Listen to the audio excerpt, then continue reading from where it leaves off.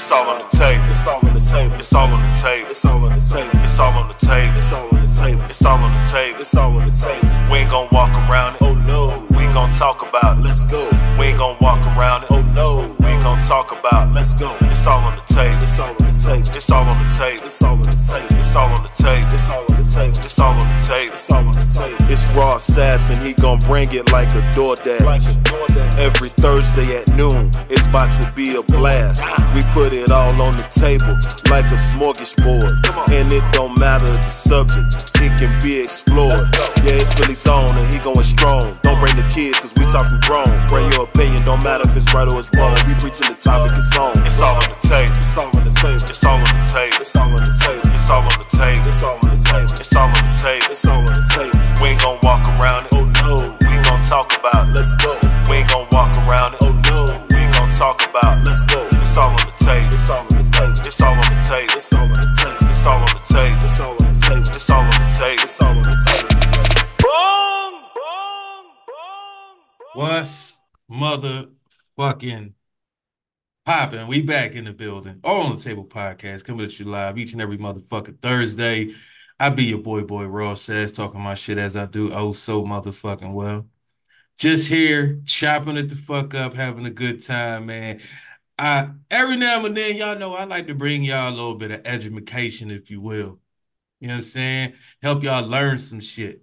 Cause you know, I come on here, I talk a lot of shit. Nine out of ten probably still gonna talk some shit too, but we're gonna try to learn some shit on this one. You know what I mean? Especially for all you podcasters in the motherfucking world. I went down to PodFest myself, and I learned a lot while I was there. Um, during the process of me learning shit, I met some folks, which helped me learn even more shit. I know a lot of us, we get into this podcast thing and we just we just doing it. We just here. We don't really know what the fuck's going on. We just feel like, you know what? We good at shit talking. Let's get on here talk shit. Or we good at, at whatever, financial banking or some bullshit like that. And oh, let me fucking teach you how to do it. But are you actually an expert at this shit? Or is you just telling people shit? Just to tell people shit. This is something a lot of y'all gotta understand. Real shit.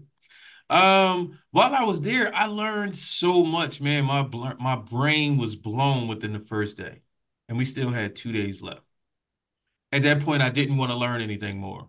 I just wanted to meet people at that point. And I actually learned more by meeting people, having conversations in the hallway, chilling in the black hallway, if you will.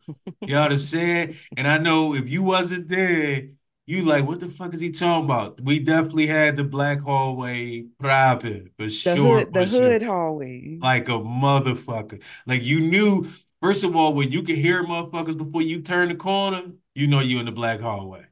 And it ain't like we was at the beginning of the hallway. We was deep in the hallway. We had at least every 15 minutes, at least one security guard or cop walked down the hallway and ask us where the bathroom was at.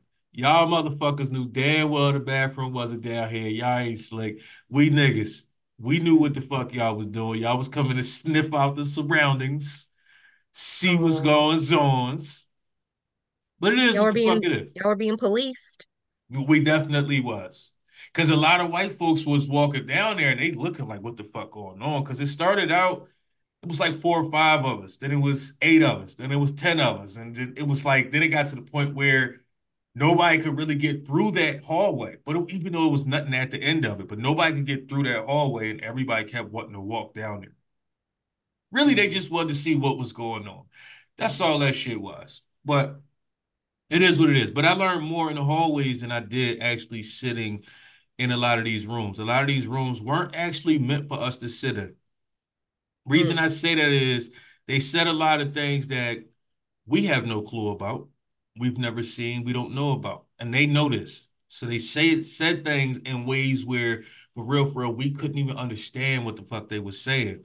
Yeah, hmm. you can get little bits and pieces, but it wasn't actually meant for us to learn but so much. It was meant for us to walk in this building and say, hey, how much of my money can I give you in hopes that you'll possibly give me one extra view? mm. Damn. That's really what that shit was. Needless to say, I will be back at Podfest next year, though. Okay. I'm not gonna lie to y'all and pretend like I'm not because I actually did learn shit. I'm one of those people. I don't need for you to show me everything for me to learn a little bit.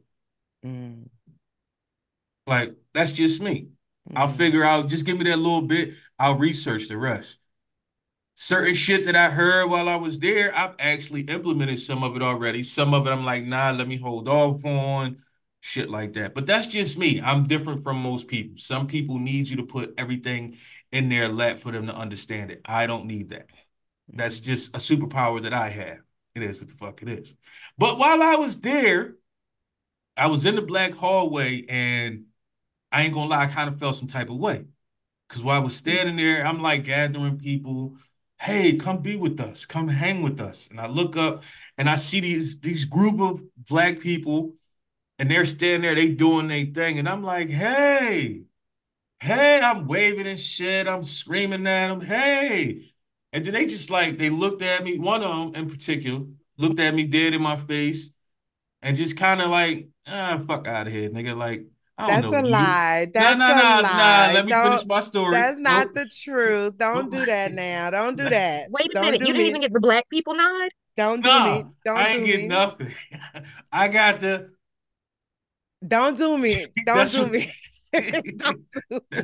that's what that's what I got. So, so in my mind, I'm like, all right, you know, I'm a little hurt. You know what I'm saying? I almost shed a tear, a half a tear dropped out. I ain't gonna lie, it is what the fuck it is.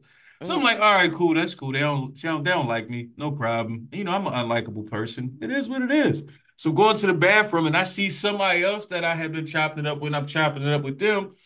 And then some, this person that ignored the shit out of me was like, "Oh, hey, how are you? My name is," and I'm like, "Wow, you just ignored the fuck out of me, and now you want to introduce yourself. This is the shit that niggas do, but I fucking love it because you still you still did some nigga shit that I can't even be mad of.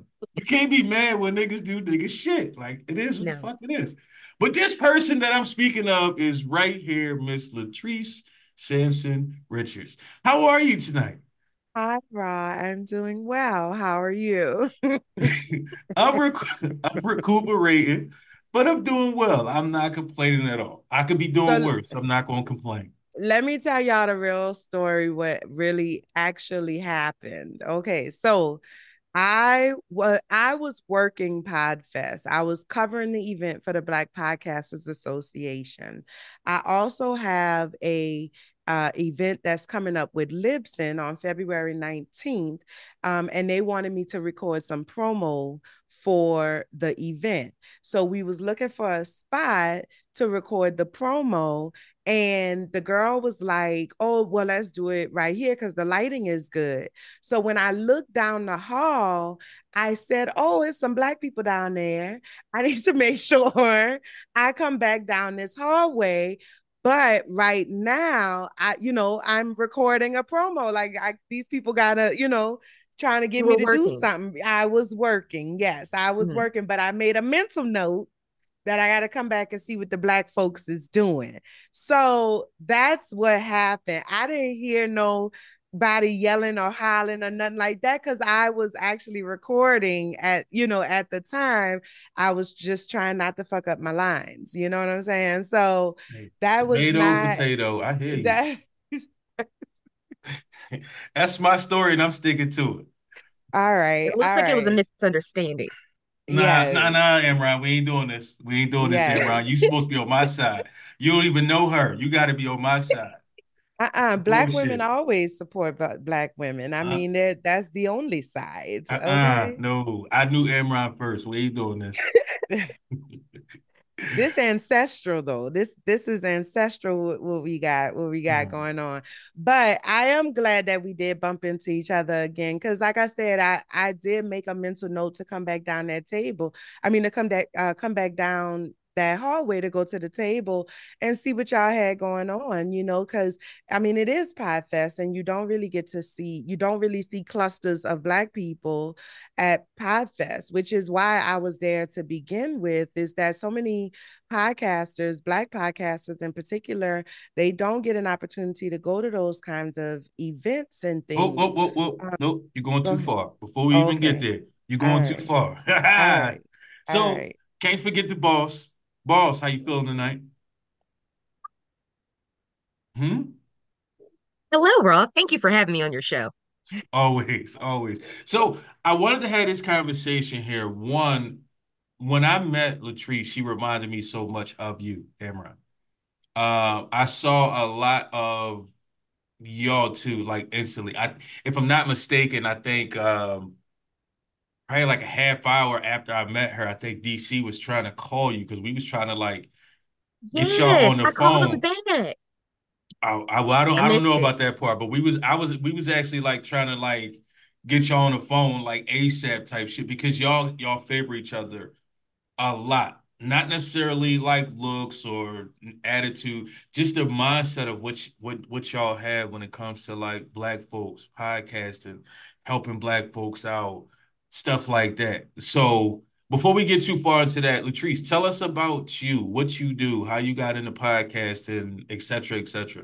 Mm, okay, so um, hi, my name is Latrice Sampson Richards. I am a uh, award-winning podcast host and producer. And um, how did I get into podcasting? Um, I'm gonna I'm gonna make a long story short um, and just say I started out in radio very, very briefly in public radio uh, in New Orleans, where I'm from. And um, that kind of parlayed into podcasting. Somebody introduced me um, to podcasting and, and said, I think you should give it a try. And so I just started researching it and stuff. And I decided that, you know, it was something that I wanted to try out. So I did my first show back in uh, 2016 called uh, Unicorns Talk Podcast. I'm a therapist by trade. And so um, I, it was it's a mental health podcast for Black women um, and our healing and our manifestation. And so I did that podcast about uh, two seasons, about 68 episodes. I like to say that's that's the podcast where I learned how to podcast. Um, and I kind of felt like, okay, this is like something I think I actually want to do this for real, like not just as a, a hobby, but I, I think I can possibly make a career out of this. I really, really enjoyed it.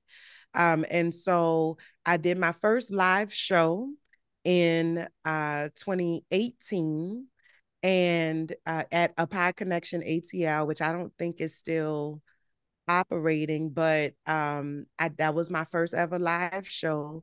And at that event, I um, learned about Afros and Audio, which is the first podcast festival for Black podcasters and audio professionals. And so through um, through that connection, I you know had linked up with Afros and Audio and stuff, and I was supposed to speak for their second year, and that didn't happen. And then um, I was supposed to speak for the third year, and then COVID happened.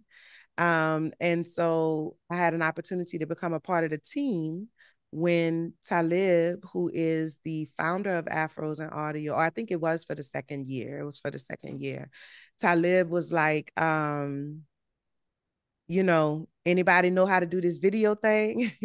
and at the time, I was doing like three live streams a week, you know, um, plus recording and all kind of stuff like that. So I offered my skills and I just became a part of the team. And that's where most people really was introduced to me was through my work with Afros and audio. And from there, I've been able to, you know, thankfully kind of put my hands on a little bit of everything in podcasting, um, in Black podcasting in particular.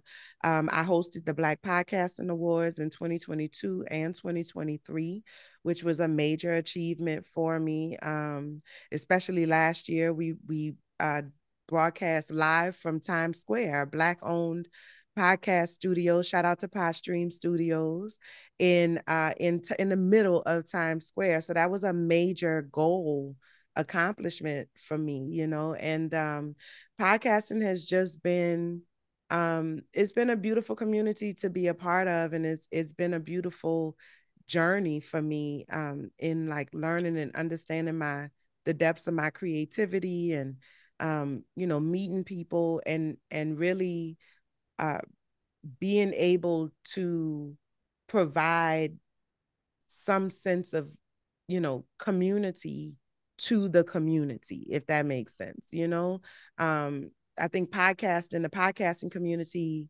as a whole kind of has that community vibe. You, you know, you felt it at Podfest. Um, it, it's a community vibe. You know, most podcasters, I think we kind of see ourselves as the outcasts, you know.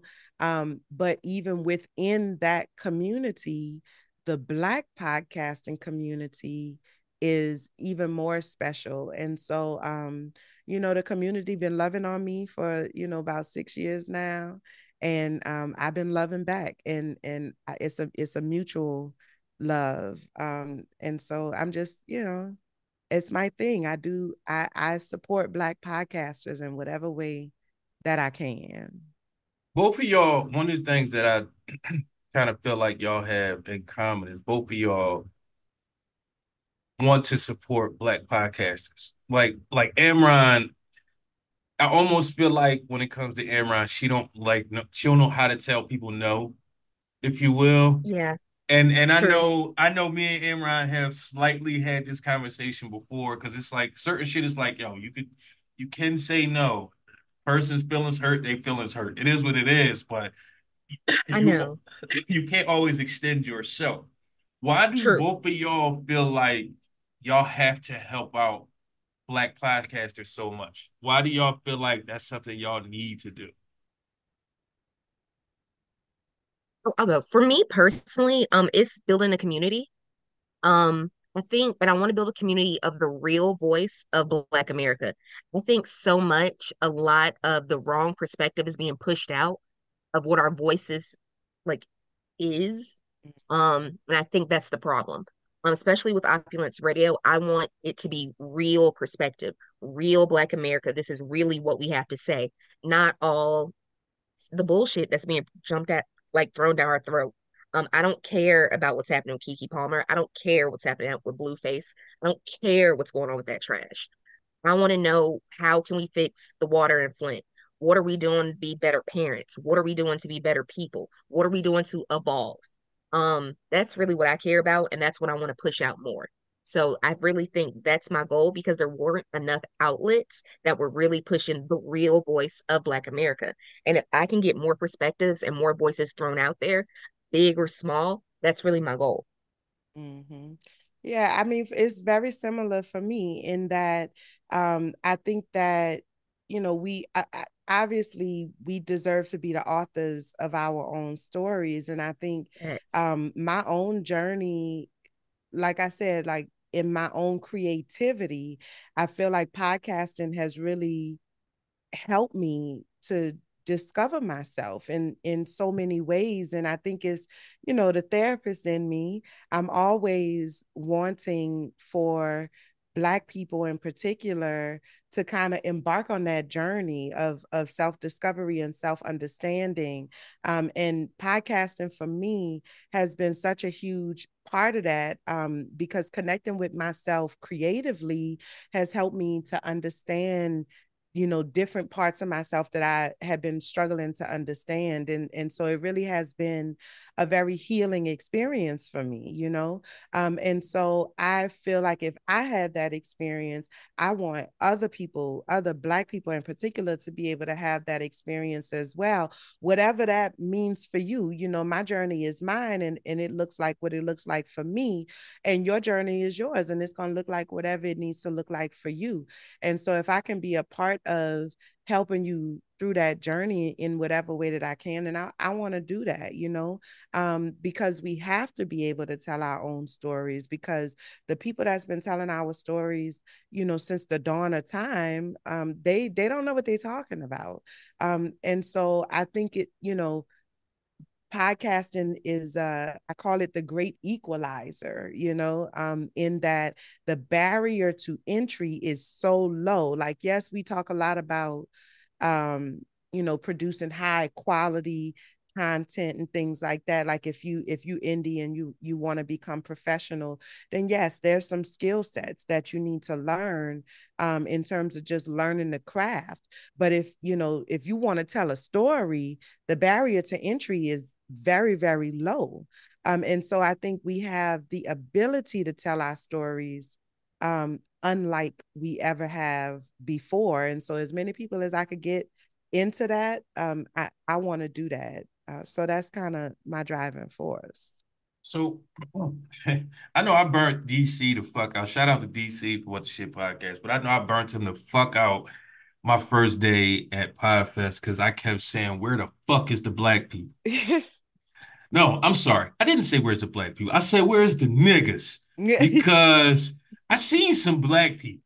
I didn't see no niggas. Mm-hmm. And I ain't gonna lie, that shit was burning me the fuck out because the, the, the black people that I that I kept seeing, it was like you could look at them and see black person, mm. but this everything about them screamed them. Mm. And it was like, well, damn, why is it we can't even be us in a in a podcast setting? Mm. Like it's mm. not like the podcast setting don't have to be the most professional, buttoned up, suit and tie. You can be you because your podcast is your opinion, your feelings, how you how you look at the earth, how you view the world. Like this is you. So why do you feel you need to be them to still not be you in something of this this light, if you will. Why do you feel like even in these spaces, people feel like they still can't just be them as black people? Why do you feel like they still feel like they gotta be a part of them to be in a in a podcast community, if you will? But I, I think it's primarily because of the makeup of the industry. You know, like the industry, just like every other major industry, um, it's a it's white dominated, specifically white male dominated, um, and podcasting is no different. And so, um, for for those most of the people who go to Podfest are you know people who are looking to be professional podcasters in some way right? So you know they're not they're not indie they're not hobbyists um they they are really looking to be professional podcasters although you don't have to be in order to do that um in order to attend podfest but most of the people that you're going to run into at podfest um have hopes of or are uh, professional podcasters. And so they see themselves as a part of the industry. And within the industry, you know, outside of spaces that have been specifically and intentionally curated for Black podcasters, like Afros and Audio, like Black Podcasters Association, like Black Pod Collective, and things like that, like we have these spaces. But outside of those spaces, everything else is white dominated. And so you know people just like on the you know in the workplace when you go on a on a regular 9 to 5 job people feel the need to assimilate in those spaces as well because that is you know you you assimilate to the culture that that you are existing as a part of in that moment.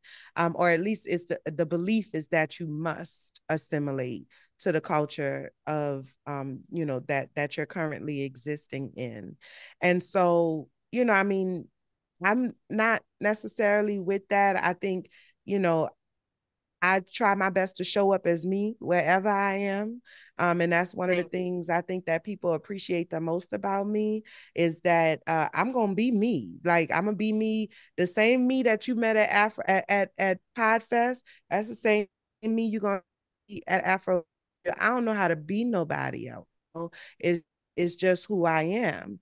Um, and and you know, thankfully, I've received acceptance for being who I am. People tend to appreciate who I am, um, but it's some folks that don't. And you know, I'm I would be lying if I said it didn't, you know, bother me sometimes. But at the end of the day, it's not going to stop me from being me. It's not going to stop me from from being who I am. So I think it's more so about you know what we have been conditioned to believe in in the sense of we have to assimilate in order to grow in order to get along. Um, and so being a part of black podcasting communities that have already been built kind of show you that that's not necessarily the case that there is there are black people at every level of this industry every level of this industry who have remained themselves at every step of their journey and they are an active part of the black podcasting community regardless of what their level or their status is um, in the industry as a whole. And and i think it's a beautiful thing. Yeah, as we as we me and DC down at Podfest, we everybody's like, "Oh, my podcast is about teaching you this, showing you that." And then they look at us and we like, "Oh, we just two dudes that just talk a lot of shit." and it was almost like people was waiting for us to to like say something inspiring, and we just like, "Yeah, nah, we not them guys. Like that's not us." Which which which is crazy because when we first said it in the beginning, people would look at us crazy. But then after they sat around us for a little bit, then people would start to look like, oh shit, these some cool motherfuckers. Like, hold up, like, cause you didn't you didn't did all even without either one of us trying, you didn't laugh like a motherfucker. You didn't probably learn some shit. You didn't probably let your guard down and Mhm. all of that because it's like, fuck, like these ain't these ain't your average motherfuckers right here. You know what I mean? These guys are are are a little bit different. Uh, Amron, do you feel like you got to be different when you in spaces with like white white America? I guess when it comes to podcasting, or it's like, man, listen, I'm a podcaster. I may sound like one of y'all, but I'm a nigga, motherfucker. Like, No. I think the problem really is we need to be comfortable with being black famous. I think the issue is we everyone wants to cross over, and I totally get that to get as many listeners, to get as many followers, to get as many to that next level. But I think sometimes we might just need to Courtney Vance it. It's okay to be black famous. Um, you can be amazing. You can do great things with it and Love still be Courtney Vance. yourself. Hmm? Love. I said Right, I love facts. Courtney Vance. You know what I'm saying? Yeah. Facts. Um, it's you don't have to you can authentically be yourself with your people and that be it i think the problem is too many of us want to it's that crossover thing we want to get the mama the cousin the indian lady the lady doing the chinese food the person at the grocery store and sometimes that's not your target audience Mhm. sometimes for the shit you're saying you need to focus on who that group is and just dominate that um, and that's what the point is with Opulence Radio. And if you don't have the app, definitely check out the App Store and the Google Play Store. Again, that's Opulence Radio. Also taking submissions for independent music all the time. Again, email me at amron at opulenceradio.com. Again, A M R O N. Thank you. Ew, fucking love it. Love it. Yes. On point at all fucking times. I fucking love it. I fucking love it. Hey, so here's what we're gonna do. We're gonna play some music and we're gonna come back because we want to. I want to get into the Black Podcast Association. This is something that I wanted to look up a little bit more, but as I said, I fuck around and got sick, so it was what the fuck it was. I ain't look at shit. I ain't think about shit. I didn't even know if I was gonna be here today. God damn it. Mm. the way I was feeling. But we're gonna play some motherfucking music. Y'all know what it is. We big back in the building. All on the table, baby. Um.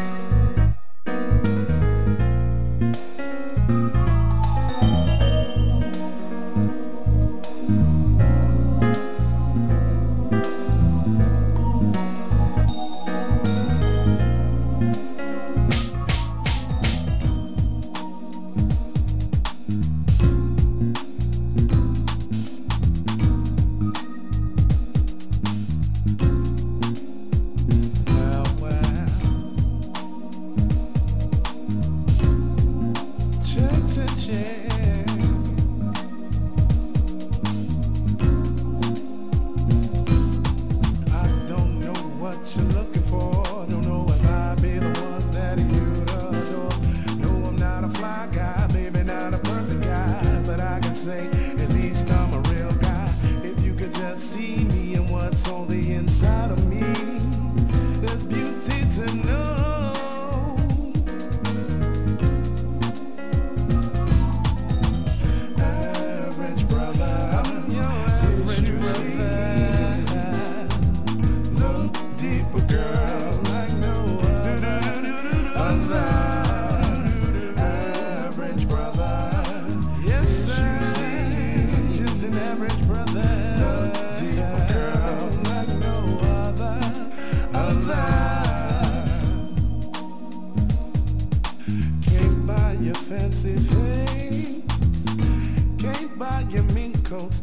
Touch your fingers with a thousand dollar rocks rings.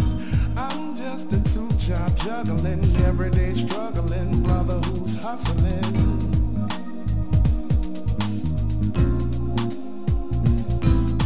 I don't know what you're looking for. Don't know if I be the one that you adore. No, I'm not a fly guy, maybe not a perfect guy, but I can say at least I'm a real guy. But if you could just see what's on the inside of me.